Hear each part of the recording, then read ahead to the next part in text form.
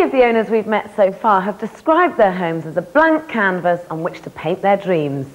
Now, our next artist owner has taken this quite literally. A house with a split personality was the idea behind the renovation of this 1770s London terrace home. Bought by an Italian painter for £45,000 15 years ago, the house is in two separate parts.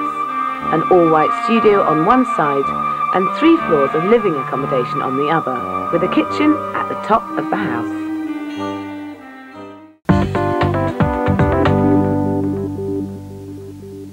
I wanted to create an atmosphere of what the house would have been perhaps, but not necessarily a period house.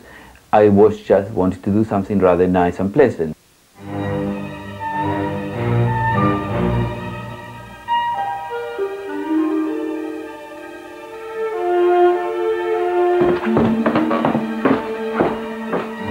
This entrance is very London.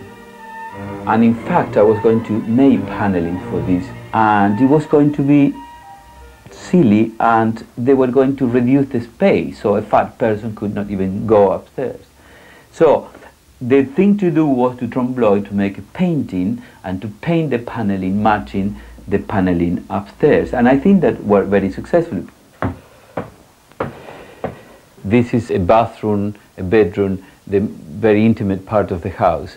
Uh, I trying to create an, an installation. Uh, uh, there are a chunk of frescoes attached to the walls. I just put them all around the, the, the room and create like a collection of stones and marbles. One of the reasons why I don't get tired of these perhaps is the fact that because they are marbles and they are blind, they look like blind people because in those days the, the eye would have been painted, etc. But now they are not follow you anywhere. They are okay. You don't have to feel paranoid about them, you know. The floor is like a floor with cracks indicating certain age. And also the blue, you know, uh, I thought it would help the look of the, of the room.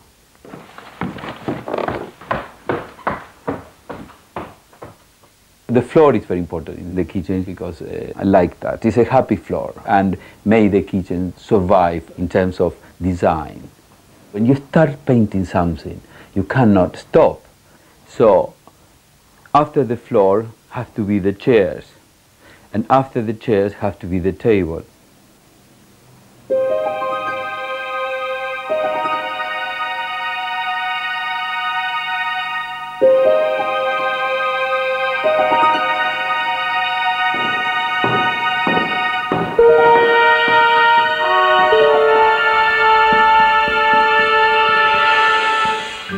My studio where everything happened in terms of my work as a painter, as an artist. The house was designed specifically for my needs.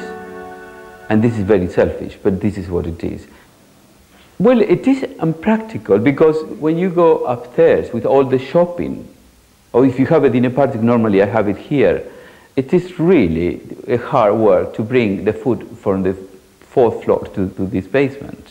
This is a very beautiful house because I, I, put a lot of love into this and all my expertise as, a, as an artist. So art is beautiful and it's an art house. Well, you'd know an artist lived there, wouldn't you? Oh, yeah. Or it Well- just shouts artist. Well, anyone with a happy floor gets my vote. I mean, that's for sure. Yeah, it was a happy floor. Fantastic. Well, he said, he said, when you start painting, you cannot stop. and it- he has not stopped. The fact he's an yeah. artist. The whole house is a, is a canvas. He has a very different place he works and a different Oh, place yeah. he lives. And they're different And that's scales as lovely. well. I mean, he's been It's very really lucky. But also, I liked with, you see, with this, I mean, uh, Oh, this love must be the ultimate picture, isn't it? Great. This is his bathroom, which was quite clever because it opened straight off. I was going to say, it's not just his bathroom, Yeah, it's his, bedroom, as well, which 'Cause is it's a quite totally, tight. total different way of thinking about Yeah. the space, isn't Yeah. it? Yeah. It's brought the it two together. And of course, his great paintings. And I can imagine everyone thinking, how do we do that?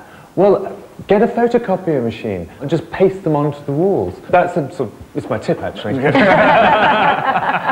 but I love his attitude. He's kind of, this is that a wonderful, a happier floor, but it's things like, if you haven't got a skirting board, paint it. And if there's a light switch, uh, power socket in the way, just paint over it or even half of it. That's a true artist's um, mind, isn't it? In lifestyle terms, we have to address the fact that he has put the the kitchen on the top floor and he eats full floors Oh, down. yeah, I agree And with I you. can just see, you Yeah, know, you think, I all agree. right, we'll do soup tonight. And Yeah, yeah. you need brown Yeah. carpets and serve brown soup. Is it that he hasn't really considered the lifestyle very? Probably, because if you went into a normal house and the kitchen was on the top floor and the dining room was on the ground floor, and actually there was no wall between the bathroom and a bedroom, I think you actually It's stand there and still a bit scratch your head and say, but then- what's this all Yeah. about? Because that this is is- not practical. no. Mm. But, But is, this man artists, isn't. But this man isn't isn't, it? is he? Artists aren't. This house is definitely Ricardo and nobody else. Oh, without any shadow of absolutely. doubt. And what a nice man. Yeah. Well, we're going to be scoring that at the end of today's show.